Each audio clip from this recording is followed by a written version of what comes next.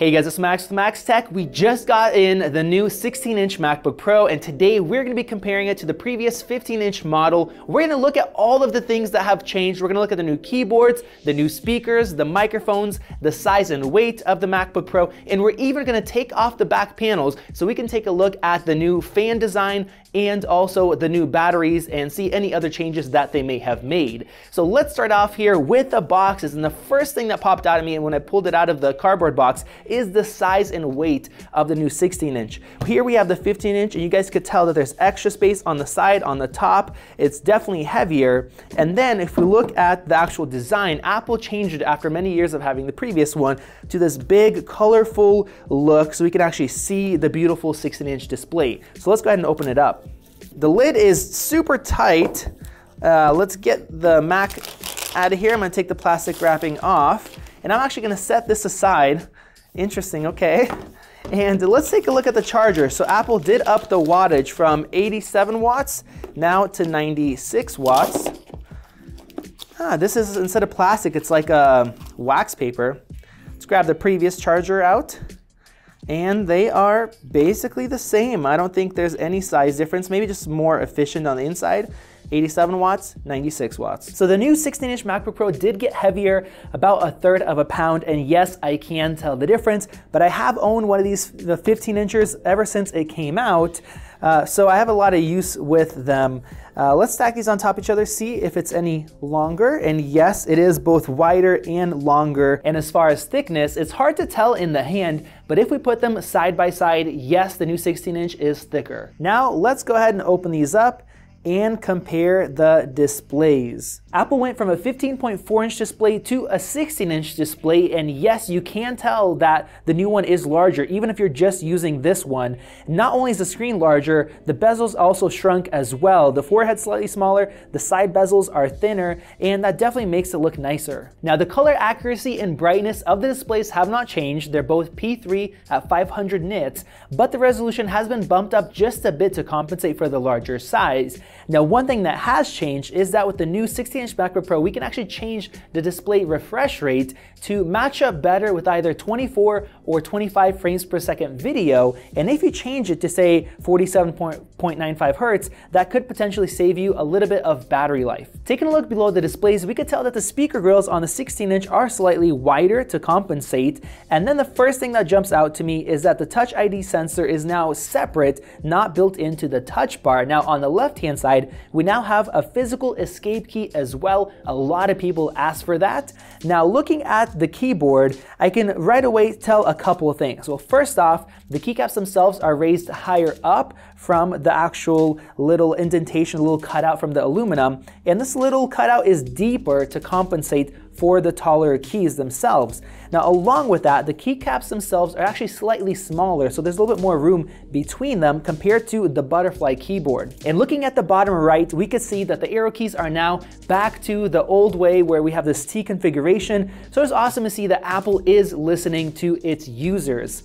Now let's actually feel the keyboard. Now I'm used to the butterfly keys. I've used these ever since uh, actually 2015 with the 12 inch Retina MacBook. Very low travel, uh, almost nothing, but they are pretty stable. The new ones actually go back uh, to the previous design where we're not using butterfly keys, we're using scissor switches.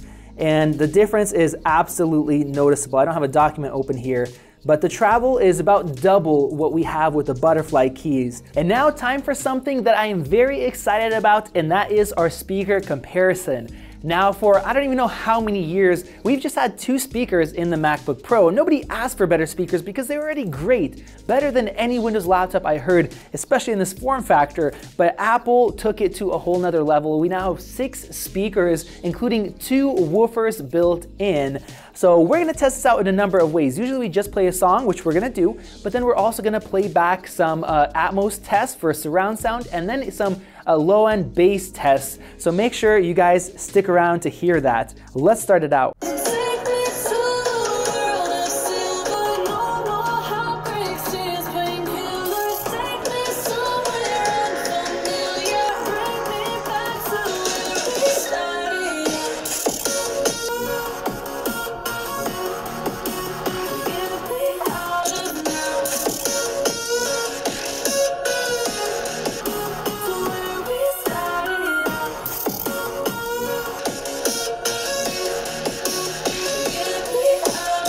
Now, I'm not gonna lie, I do wish that the new one was at least as loud as the previous one was before, but one thing we notice is there's definitely a lot more separation between the different frequencies. The new MacBook Pro has six speakers, so it can separate the high frequencies, the mids, and then the low end, where the previous one, it has to blend all that together with two speakers. Even though it did a great job, we definitely hear a lot more separation, a lot more, I guess, clarity in the mids, and even in the bass. It, actually sounds like, like it's much deeper, kind of comparing maybe a cell phone to a tablet. You have bigger drivers and it definitely sounds better. And then in the vocals, they definitely sound cleaner as well. I'm not sure if you guys can hear it through this microphone, but let me know what you thought. So now I have the surround test running.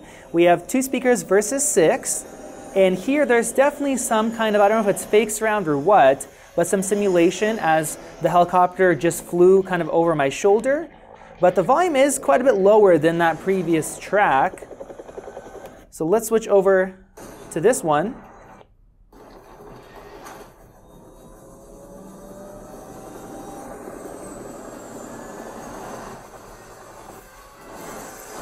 So with the surround sound test, I could definitely tell that the new MacBook Pro is more immersive, maybe because of the speakers or the added bass, but it is doing a better job, so that's great for movies. Now, another thing that's very interesting is that with this test, the new MacBook Pro actually sounds louder than the old one. All right, guys, so we just listened to a frequency sweep here, a couple different videos, and some other bass tests. Uh, and it's very interesting. The new MacBook Pro can go all the way down to 30 hertz where you can hear it, whereas the 15 inch model, it goes down to 45 hertz. So we definitely have a deeper bass here. We listened to a couple different tracks as well with a lot of bass, and you definitely could tell the separation between the bass and the other frequencies much better than the previous one. All right, guys, now it's time to test out the webcam and the microphone. This is the quality from the 15.4 inch MacBook Pro, and this is the webcam quality with the new 16 inch MacBook Pro, along with the new microphone setup that Apple is calling studio quality microphones. You let me know if you think it's good enough to replace a dedicated microphone down in the comment section below. Now let's go ahead and open these guys up and take a look at the internals. The first thing that really jumps out at me is that the fans are now made out of metal, either just the center or maybe the whole fan altogether compared to plastic over here. And the new 16-inch MacBook Pro has thicker fans, so all of this whole assembly uh, where the air goes through is actually raised up higher. Now the other thing that really stands out, these batteries, uh, they are now thicker all around and then the ones on the side are actually longer because we have more space in this chassis. And that's what's making this battery be 100 watt hours instead of about 83 watt hours. And 100 watt hours is actually the maximum that you can legally have on an airplane. Now the other thing we see is with the old 15 inch MacBook Pro, we have all this empty space over here on the sides. This whole speaker assembly is much smaller. Here, it's actually longer and making use of that extra space. Now these new fans definitely make a difference as far as performance and heat. We actually made a separate video where we took a look at a bunch of different benchmarks both for the CPU and the graphics and we tested out thermal throttling. So if you guys want to see that video, we're going to have it at the end of this one. Definitely don't miss out on that. Uh, the actual CPUs inside of these machines are identical to the ones that came out earlier this year. The base has a 2.6 gigahertz 6 core and then the higher end models are 8 cores. Uh, and the graphics cards, those have been updated and there's been some pretty great improvements, which you guys definitely want to check out in that dedicated video. Now, the other thing that changed is the base amount of SSD.